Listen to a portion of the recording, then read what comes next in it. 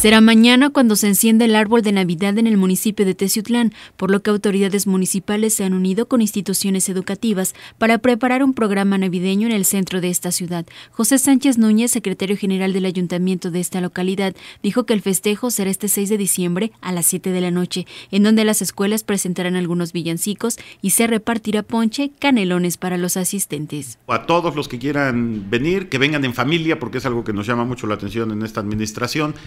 queremos convivir con, toda la, ciudadanía de Techutlano, los alrededores que quieran venir a visitarnos y ver cómo, cómo, va, cómo quedó el, el arreglo navideño para este año y bueno, pues que pasemos un rato agradable. Finalmente se colocaron algunos adornos en el parque de esta ciudad, luego de que los expositores de temporada se colocaran finalmente en Plaza Cívica, por lo que también favoreció a que se pudiera adornar este punto de la ciudad, teniendo otros cambios incluso en el árbol de Navidad, por lo que piden acudir y conocer cómo lucirá este árbol una vez encendido. Cambios en el árbol, efectivamente. Eh, mira, hasta, hasta donde se nos ofrecieron el, el árbol este, tiene 17 metros de, de alto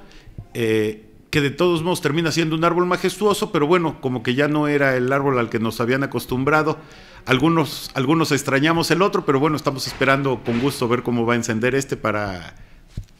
para decir, este está más bonito. Sánchez Núñez reiteró la invitación para que acudan en esta temporada a disfrutar del centro de la ciudad, principalmente encender el árbol, y pidió a las familias de esta localidad mantenerse unidos a quienes están pasando por algún problema de salud que mejoren y sea una época para que puedan recuperarse pronto, recordando que es una temporada importante en la que podrán limar asperezas y tener una nueva oportunidad de cambiar en 2018. Con imágenes de Ernesto Vázquez para Informativo 9, Vanessa Enríquez Ayago.